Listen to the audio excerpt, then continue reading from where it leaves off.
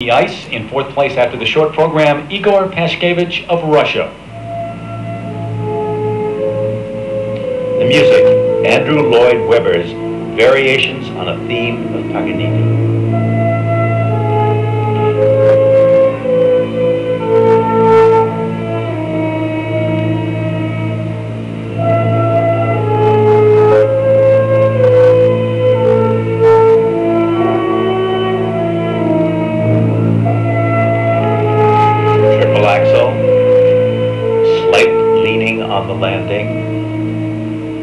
Costume depicts a spider. He chose that because he feels the eeriness of the music.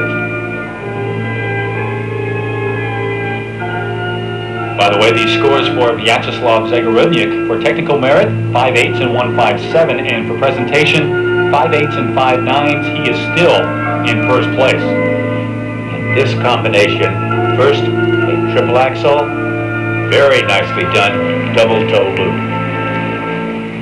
Solid.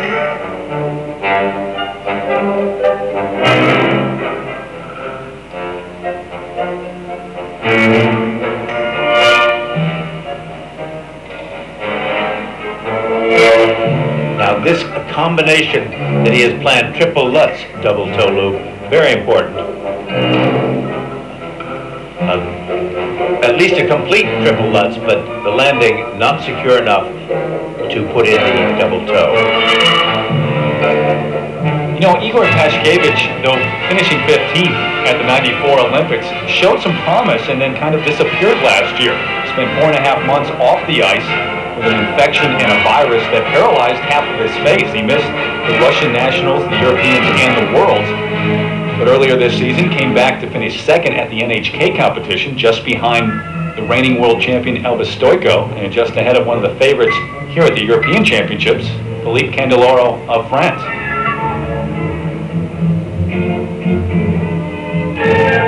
There you have a look at the spider on the costume of Igor, reflecting the theme of this long program. And that makes these particular movements understandable, these arm movements.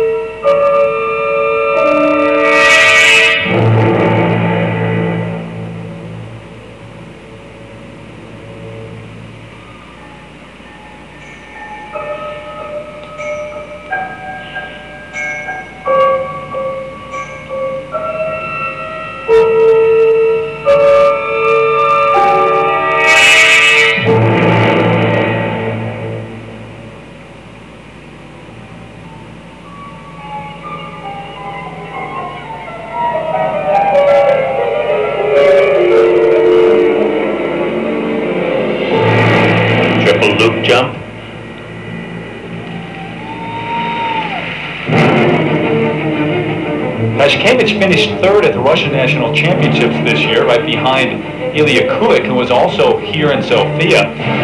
And the Russian world team has yet to be named. We have no doubts Alexei Urmanov, who won the gold at the 94 Olympics, will be one of those.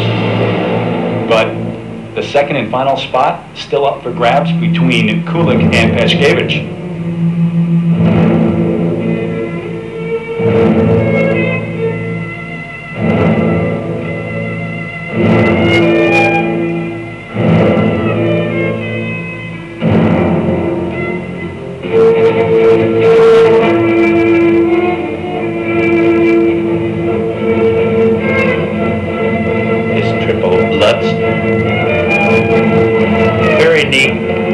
Really not very big, but certainly continuing to show he's a, a relatively mature skater.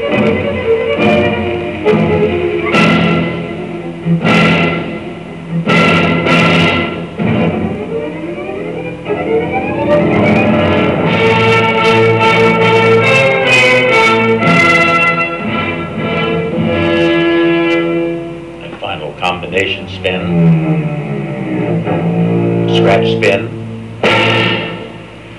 He, he certainly is very aware of the music, very conscious of the choreographic intent of this program. Igor Pashkevich of Russia in fourth place heading to the free skate, trying to make the Russian world team. Back in Sofia.